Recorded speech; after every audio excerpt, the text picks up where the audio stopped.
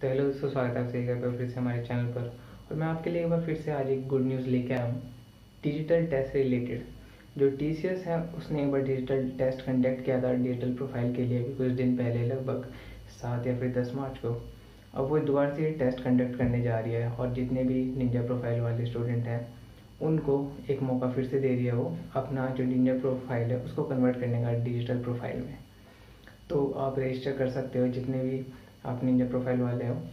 तो जो रजिस्ट्रेशन की डेट है वो लगभग दो अप्रैल से पहले पहले आपको रजिस्टर करना है। एक सर्वे करके आएगा आपके ईमेल पे और डिजिटल टेस्ट लिख के आएगा उस सर्वे तो उस सर्वे पे जाके आपको अपनी डिटेल्स फिल कर देनी है और आपका रजिस्ट्रेशन हो जाएगा डिजिटल टेस्ट के लिए।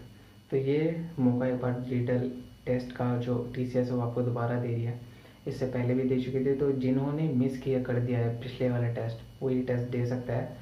और जो पिछले वाला टेस्ट दे चुके हैं, वो ये वाला टेस्ट दोबारा दे सकते हैं और जो बेस्ट मार्क्स रहेंगे आपके दोनों में से तो उनको देखा जाएगा और उनके बेसिस पे आपका जो रिज़ल्ट है वो दिया जाएगा आपको। काफ़ी अच्छा मौका है यहाँ पे, जो T C S ninja profile है और T C S digital profile है, इन दोनों में मेन डिफरेंस पैकेज का है बहुत ज़्यादा।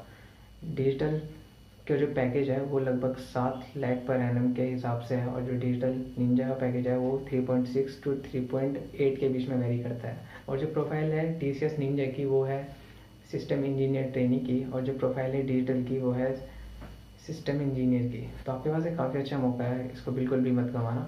जल्दी से जल्दी रजिस्टर कर देना एक अप्रैल तक डिजिटल टेस्ट के लिए।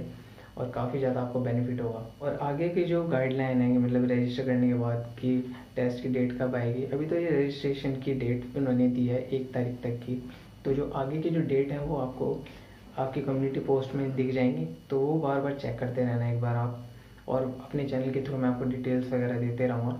और कुछ और भी आपको जानना हो तो प्लीज़ कमेंट में मुझे बता देना। और दोस्तों, आपके लिए एक न्यूज़ और है कि अभी कुछ टाइम बाद मेरा एक ऑफलाइन इंटरव्यू है। तो अगर आपको जानना है कि ऑफलाइन इंटरव्यू में क्या क्या होता है और किस हिसाब से होता है तो आप मुझे कमेंट बॉक्स में बता देना।